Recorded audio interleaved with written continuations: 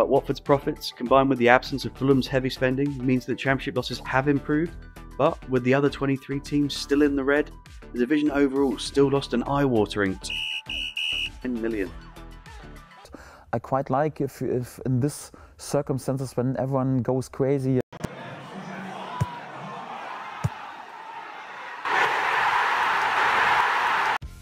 We head into the playoffs to decide the final team promoted to the Premier League, let's dive into the financial state of the Championship. We'll delve into the numbers of each team, covering five key categories revenue, operating profit, wages per point, cash from operations and transfer fees, and funding. So, just how sustainable is life in England's second tier? Let's find out. Before diving into this year's figures, let's recap what happened the previous season. Total revenues for all 24 Championship clubs reached 676 million. When broken down by team, it's no surprise that Fulham, Sheffield United, and West Brom top the charts, having been relegated the season before and having the largest parachute payments. Preston, on the other hand, made the least at under 14 million, just 19% of what Fulham generated. To flag, Derby didn't produce accounts last year, and Reading are yet to submit this year's, so we replicated the financials of the relevant year. There's already a clear divide between teams benefiting from parachute payment support and those without. Next, we swap out the teams that moved in and out of the division.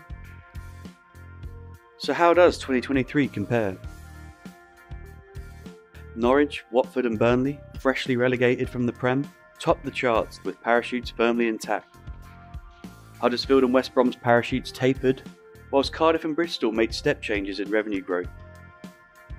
In conclusion, Norwich topped the charts at 76 million, whilst Preston remained at the bottom of the revenue table. Combining these figures, Championship revenues grew to 753 million, an 11% increase.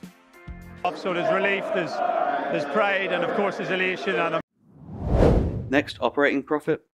Despite generating over 650 million in revenues in 2022, the 24 teams collectively incurred staggering losses of over 425 million, a 63% negative operating margin. The three promoted teams were able to withstand much heavier losses than the rest of the division. Fulham, despite generating the most revenue, incurred the heaviest loss at 57 million. Peterborough United, although relegated, were the only team to generate any profit in the year. In this analysis, we've excluded profits gained from owners writing off loans at Stoke City and Hull City. Once again, let's map these out and switch out relegated and promoted teams. So, how did 2023 get on?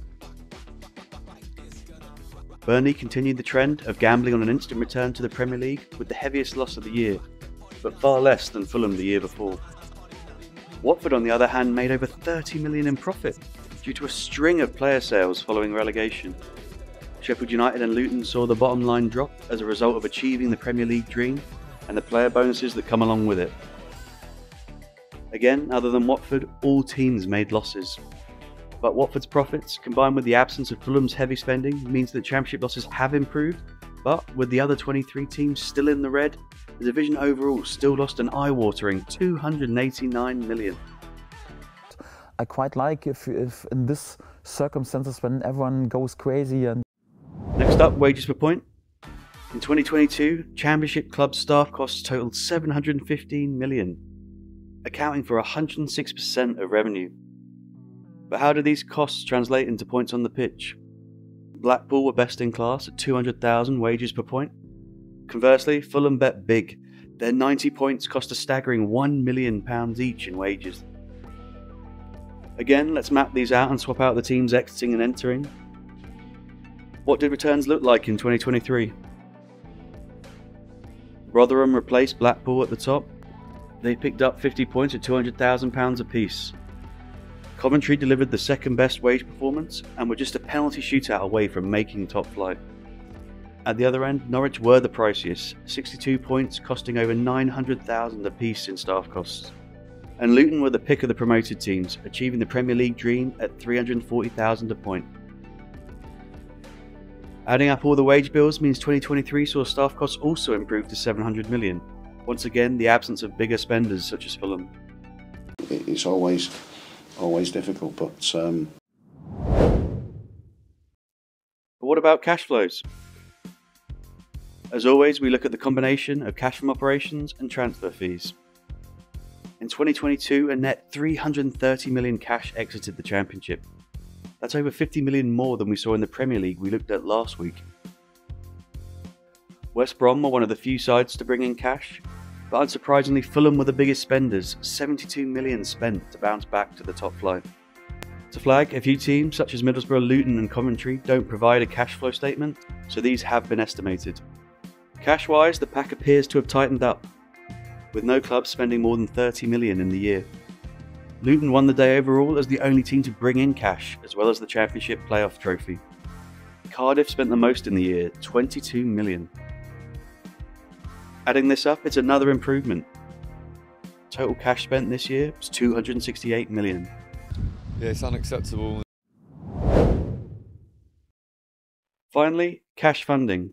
Owners of championship clubs sourced 333 million in 2022. Fulham contributed 117 million, whereas Huddersfield were the only team to take money out, paying down 3 million of loans. But what about 2023? Burnley injected the most with 36 million. We can see once again the pack has tightened in the absence of more free spending players the year before. On average, though, Championship teams had to pump in 11 million each, meaning total funding remained similar at 324 million. But with Burnley, Sheffield United, and Luton all returning to the Championship, will the financial realities of life in the Championship really set teams up for success in the Premier League? Only time will tell.